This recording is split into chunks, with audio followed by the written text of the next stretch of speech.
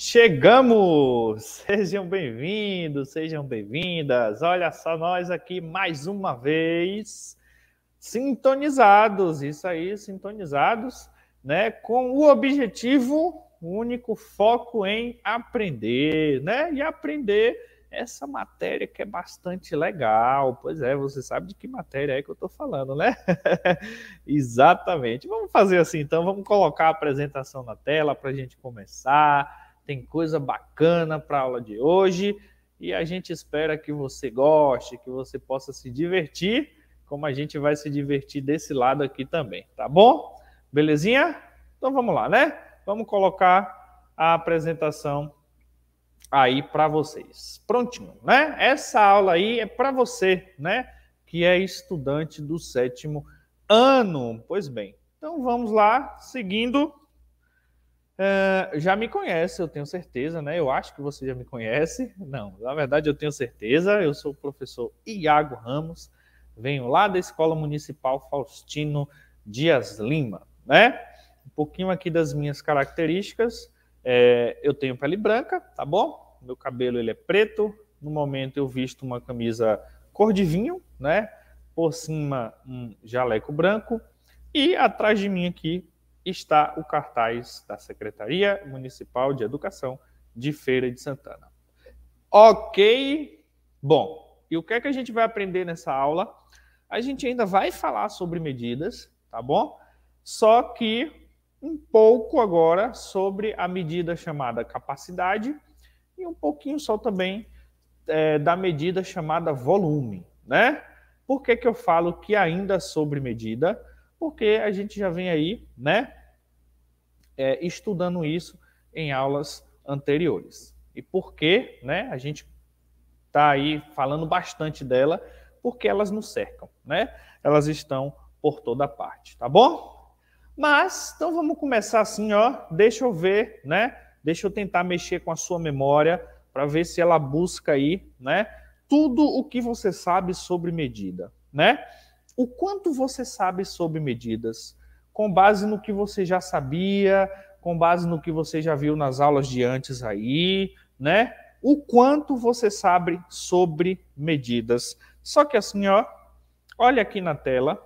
Eu quero que você olhe aí, ó, para número um, você sabe pouco sobre medidas, né? Um número um aí em vermelho. Número dois em laranja, você sabe metade das coisas, né? Número 3 em amarelo, você sabe a maioria das coisas sobre medidas. E o número verde, né, o número 4 ali em verde, você sabe bastante coisa sobre medidas. Dá aí, faz essa reflexãozinha aí. O quanto é que você sabe sobre medidas? Um, dois, três ou quatro. Vou fazer assim, ó. Vou colocar um reloginho na tela. Você vai pensar. Depois que você pensar aí, você vai dizer bem alto aí, ó.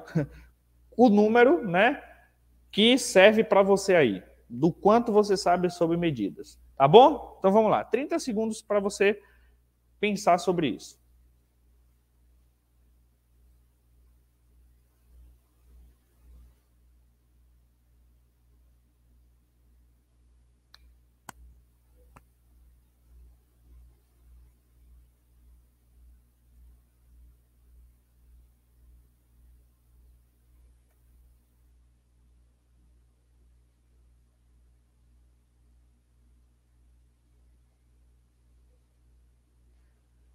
Prontinho. Então, qual foi o número aí que você escolheu para você, né? Você está sabendo pouco sobre medidas, está sabendo metade das coisas que você já estudou, está sabendo a maioria delas, ou está sabendo bastante coisa, né? É isso aí. É bom a gente pensar, né, no como a gente está entendendo as coisas, o quanto a gente está entendendo as coisas, tá bom? Isso é importante, certo? Então vamos lá, vamos fazer assim, ó, agora começando mesmo o assunto dessa aula, né? Na tela aí aparece um balde, certo? Um balde azul. E eu pergunto, quanto de água cabe nesse balde, né? E aí a gente pode olhar e tentar dizer assim, mais ou menos quanto que cabe de água nesse balde aí. Será que é uns 3 litros, 4 litros, 5 litros talvez, ou quem sabe mais, né? Uns 10 litros, não sei, né? Mas para você, quanto de água que cabe nesse balde, né? O interessante é o seguinte, ó, quando eu pergunto isso para você, eu estou falando para você de um tipo de medida que é chamada de capacidade, ok? Só uma coisinha aqui, ó. Capacidade aqui não quer dizer de ser capaz, de ter competência para fazer alguma coisa, tá bom? Capacidade aqui está falando de medida, tá? Então, quando eu perguntei o quanto de água cabe no balde, eu estou querendo saber qual é a capacidade desse balde, né? Tá? Então, essa capacidade aqui tem a ver com medida, certo? E a forma mais simples que eu posso tentar para você aqui é, de trazer aqui, de te dizer o que é capacidade, é a gente pensar assim, ó, como está escrito ali na tela, quantidade de líquido que ocupa um espaço. Então, falou da medida capacidade, está falando da quantidade de um líquido que ocupa um espaço, certo? Que ocupa um recipiente. Enfim, conseguiu entender isso direitinho? Pegou essa ideia? Então vamos fazer assim uma pergunta, vamos fazer assim uma pergunta de memória. Deixa eu ver se você entendeu mesmo, né? Ó, ei você aí que me assiste, que nos assiste, com base no que a gente acabou de ver, o que é que significa capacidade, né? Um minutinho para você pensar, né? Vê aí o que foi que a gente falou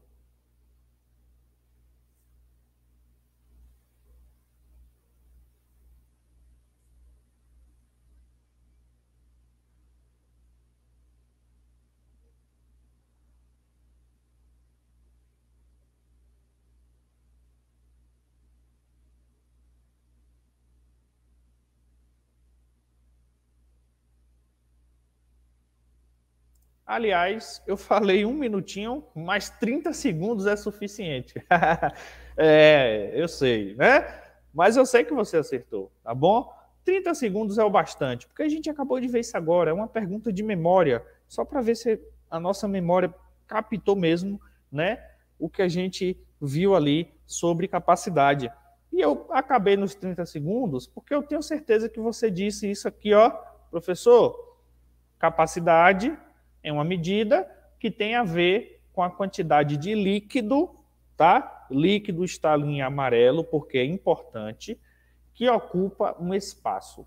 Então, falou de capacidade, é isso aí. Tranquilo, massa, simbora, porque tem mais, né? Olha só que bacana. Como toda medida tem é, é, as suas unidades, a capacidade tem unidade, né? Por exemplo, o comprimento é uma medida e tem as suas unidades, né? Tem o um milímetro, tem o um centímetro, tem o um metro, tem o quilômetro e tem outras, tá? A capacidade, a medida capacidade também tem as suas unidades. E a gente conhece duas, duas unidades de capacidade. A gente conhece o litro, né? E a gente conhece o mililitro, o famoso ml. Pois é, a gente conhece esses dois tipos de unidade para essa medida chamada de capacidade. Só que assim, deixa eu te contar uma coisa aqui, ó. Além dessas duas, existem outras unidades de capacidade. E é, professor, é, além do litro e além do mililitro, existem outras unidades de capacidade, né?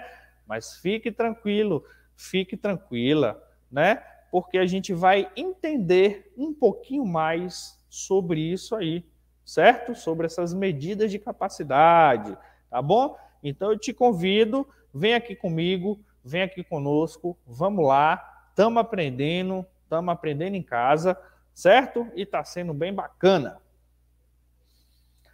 Bom, isso que aparece na tela, né, a gente chama de mapa conceitual, né? É um esqueminha que te dá direções, né, das coisas que você estuda e aí você organiza elas nesse esqueminha. Então, nós fizemos um para você aqui, ó, sobre as unidades de capacidade, certo? Então, o que é que a gente tem ali no meio do mapa, em azul, que o litro é a unidade padrão para a capacidade. Falou de capacidade, o padrão é a gente descobrir essa quantidade em litro. Só que, além do litro, a gente tem dois grupos para as medidas de capacidade. Tem, né, é, ali em verde, tem o grupo dos múltiplos das unidades de capacidade, e esses múltiplos são as unidades que vão servir para as grandes capacidades. E quais são? Tem o decalitro, tem o hectolitro e tem o quilolitro, certo? Tá bom? Quilolitro. Eu não falei pirulitro, certo? Bom, beleza. Lá do outro lado, a gente tem o grupo dos submúltiplos das unidades de capacidade, certo? Os submúltiplos servem para representar pequenas capacidades, tá bom? E quais são? Tem o decilitro, tem o centilitro e tem o mililitro, tá bom? Beleza? Bom, e o que é que tem de bacana nisso aí? é que dá para a gente sair mudando de uma unidade para outra. Eu posso pegar ali uma medida em centilitro e transformar para decalitro, por exemplo. Eu posso pegar ali um quilolitro e mudar para litro, por exemplo. Enfim, dá para a gente pegar qualquer uma dessas unidades de capacidade e sair mudando, transformando para as outras. Beleza? Massa. Vamos aqui. Olha só. Para fazer essas transformações que eu acabei de comentar, eu preparei esse esquemazinho que aparece aí na tela para você, certo? A gente vai olhar primeiro da esquerda, da esquerda para a direita, do KL até o ML, certo? KL é quilolitro. Então, se você tem alguma coisa em quilolitro e você quer mudar para hectolitro, HL, olha a setinha verde que pula do quilolitro para o hectolitro. Está dizendo assim, ó, se você pegar uma coisa em quilolitro e quiser mudar para hectolitro, você multiplica por 10. E aí você continua. De é, hectolitro para decalitro, que é DAL, ó, a setinha verde, para a direita, vezes 10. Então, do decalitro DAL para litro, vezes 10 também. Então, assim, ó, sempre que você for né, para a direita, setinhas verdes, você já está pensando ali, você já viu, ó, é só multiplicar por 10. Né? Massa. Mas se você pensar agora lá do ml da direita para a esquerda, né? Do ml para o quilolitro já muda a operação. Tá? Então eu vou pegar ali ó, do ml, que é mililitro, para o cl, que é centilitro. Está indo para a esquerda. E olha a setinha vermelha, ele está dizendo que quando vai para a esquerda, para transformar, você divide por 10. E isso aí você vai vendo de um em um. Tá? Mas tem um detalhe bacana, olha só, acompanhe comigo aqui. Se eu tenho ali uma coisa em litro, e quero essa coisa em, é, que está em litro, eu quero colocar em centilitro, CL. Então aqui eu vou até puxar aqui o meu mouse, ó, com a bolinha vermelha. O litro está aqui e eu quero o que está em litro, eu quero que ele fique em centilitro. Então acompanhe comigo. Ó. Do litro até chegar a centilitro, vai dar dois pulinhos para a direita. E quando você dá esses dois pulinhos para a direita, você faz vezes 10 e depois faz vezes 10 de novo. Aí você descobre essa coisa que está em litro em centilitro. Mas tem um detalhe bacana aqui que eu acho que vai facilitar as contas. Ó. Por quê?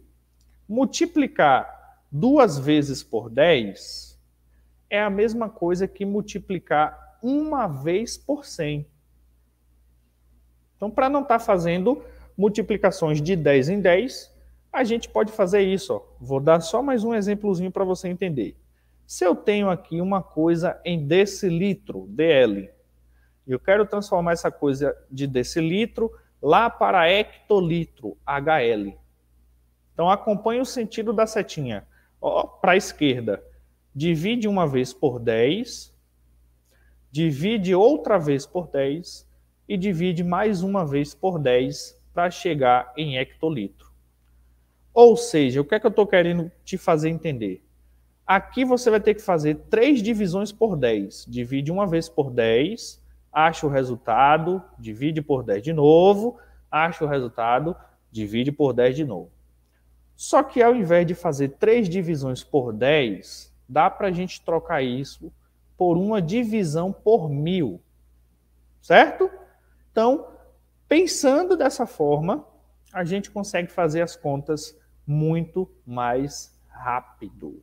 Beleza? Tranquilo? Mas, né? Falei das transformações, tentei mostrar como é que faz, mas vamos ver, né? Vamos entender isso praticando mesmo, fazendo, porque é isso que importa, né? Como é que funciona isso, professor? Calma, presta atenção, vem aqui, vamos entender comigo, vem com a gente, porque você vai entender, ó. Vamos fazer aqui uns exercíciozinhos. Então aí na tela está aparecendo assim: Exercício 1.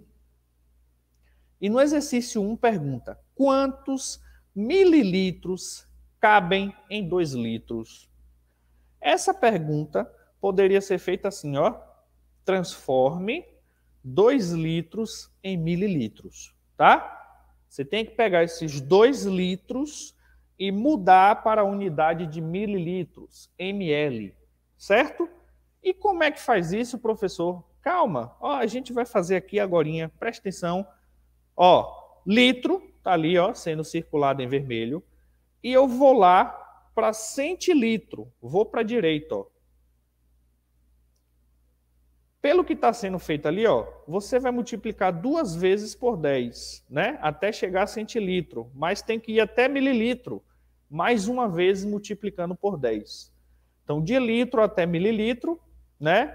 Indo para a direita, você vai fazer três multiplicações por 10. Então, 2 litros vezes 10, vezes 10 de novo, como está sendo anotado ali, vezes 10 de novo. De novo.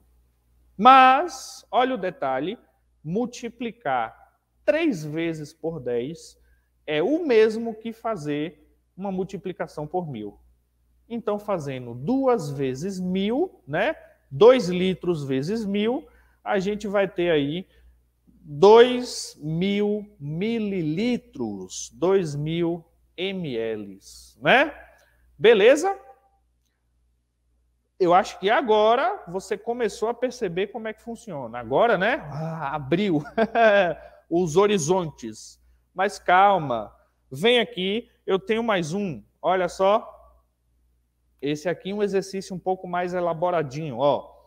Um chuveiro gotejando, né?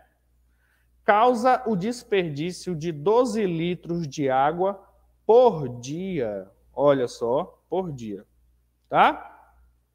Quantos hectolitros grifado em amarelo são desperdiçados em uma semana, né? Então preste atenção. Em um dia só, 12 litros.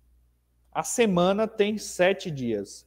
Então, 12 litros no domingo, 12 na segunda, 12 na terça, 12 na quarta, 12 na quinta, 12 na sexta, 12 litros no sábado. Tá? Por semana. Só que isso tem que estar tá em hectolitro.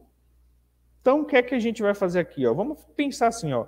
Vamos pegar os 12 litros primeiro, muda para hectolitros e depois é só pegar isso aí e multiplicar por 7 que é a quantidade de dias que tem na semana. Bora ver como é que ficou isso? Olha só, vem comigo. Tá ali litro, circulado em vermelho, e a gente vai lá para hectolitro. Indo para a esquerda, vai dividir uma vez por 10. Parou no decalitro, só que não é decalitro, tem que ir para hectolitro, HL, vai dividir mais uma vez por 10. Certo? Então vai pegar os 12 litros, e vai dividir duas vezes por 10. 12 dividido por 10, depois o resultado dividido por 10. Certo? Olá. Olá. Olá. 12 dividido por 10 dá 1,2. Um inteiro e dois décimos. Depois, 1,2 dividido de novo por 10 vai dar 0,12, ou seja, 12 litros é o mesmo que 0,12 hectolitros. Só que dividir duas vezes por 10 é o mesmo que fazer uma única divisão por 100. Você poderia fazer assim, ó, 12 dividido por 100 é igual a 0,12 hectolitros. Isso em um dia, tá? O cálculo parou ali para um dia. Só que ele está perguntando em uma semana. Agora é só você pegar esse 0,12 e multiplicar por 7 para descobrir quanto está sendo desperdiçado de água durante essa semana em hectolitros, tá bom? Essa parte final do uma semana fica com você tá? Você pode até usar uma calculadora aí agora, enquanto eu estou falando, para poder fazer isso. Valeu? Bom, sigamos, porque agora, agora é sua vez, né? Agora é você quem vai fazer. Aquele momento da aula que eu vou parar, certo? Vou deixar você fazer sozinho, fazer sozinha, para você de fato conseguir aprender, certo? Você pode usar uma calculadora, tá? O legal também é você fazer isso, né? É, num caderno, no seu caderno que você usa para estudar, né? Lapisinho, borracha ou caneta, tá bom? E eu vou te dar dois minutos, tá? Vou mostrar o exercício, você vai ler, vai entender, vou deixar aquela tabelinha aí na tela para você olhar e em dois minutos você fazer. Tá bom? Bora? Vem! Olha só, o exercício é esse aqui, ó. Quantos centilitros são necessários para obtermos 2 decalitros, né? Ou seja, é o mesmo que você pensar, 2 decalitros vale quanto em centilitros? Ó, 2 decalitros vai virar centilitros. Beleza? Acompanhou? Vou agora deixar a tabelinha, né, o esqueminha, tabelinha não, esqueminha, e vai contar dois minutinhos para você fazer. Olha só o esqueminha, tá aí, dois minutinhos para você fazer esse exercício aí. Beleza? Vamos lá? Tempo.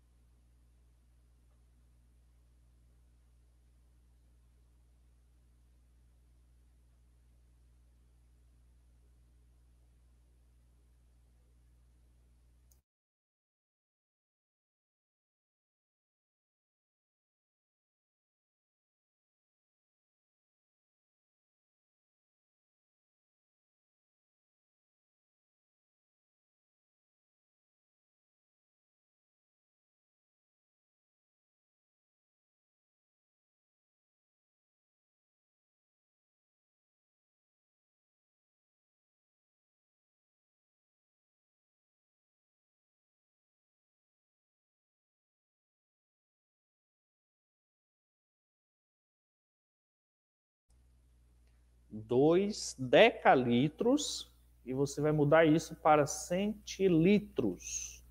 2 decalitros transformando para centilitros. Valeu?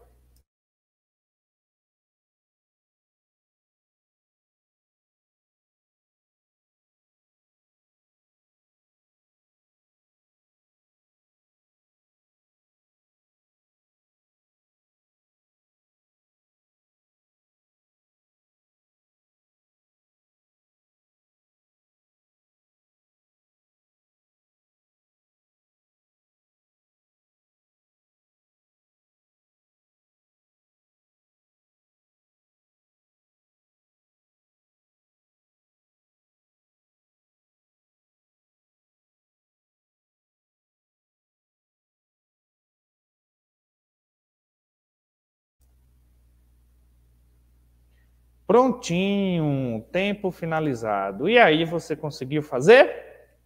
Bom, eu tenho certeza que sim, e que além de você ter feito, eu também tenho certeza que você acertou. Bora conferir? Vamos, vamos ver se é isso mesmo? Olha só. Vamos mudar ali, ó, decalitros, 2 decalitros, e isso vai virar centilitros. Então eu vou ali ó, acompanhando a setinha verde até chegar no CL, que é centilitros. Quantas multiplicações vão ser feitas ali por 10? Vão ser feitas, ó, três multiplicações por 10, né?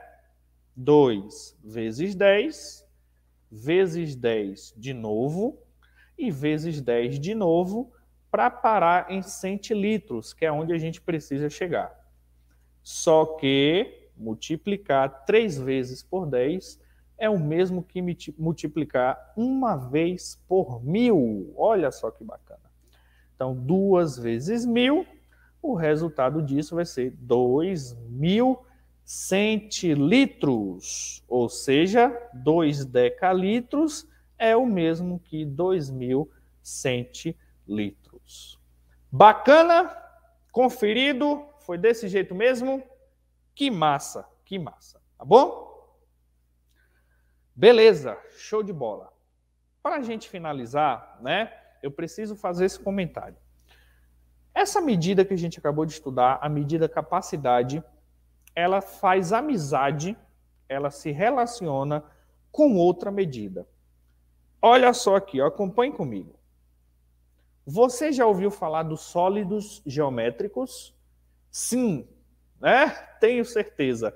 Inclusive, nós tivemos aulas para falar de sólidos geométricos, né? Corpos redondos, poliedros, toda aquela coisa. Quando a gente fala de sólidos geométricos, né? Os sólidos geométricos, eles têm espaço interno. O que é espaço interno?